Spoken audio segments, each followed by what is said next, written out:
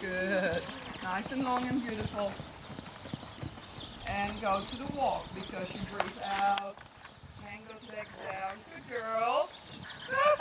Oh, That's how it is done. Did you feel that? I did. I was going. And I was saying, It you is a difference, stop because I'm it? running out of breath. Yeah. yeah.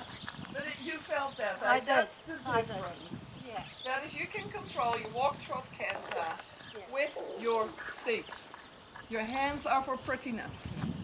Yeah, to make everything look nice. But your bum can do so much talking. All right, let's do that one more time. One, two, trot. Good. And it's that zero seat. Yours keeps going. You need to be sitting zero. Good. And ask again for the walk. Legs down. Beautiful. Legs down, down, down, down. Yeah? Keep pushing down. Oh, you can. And to the trot. Good girl. Hey, hey, hey, hey, out, out. She's in love with the boy next door. Ah, she is. Good girl. Hey, hey, hey, hey, hey, hey, hey, hey. Just have them together down there, eh? So out there. Not soft leg. Feel your leg.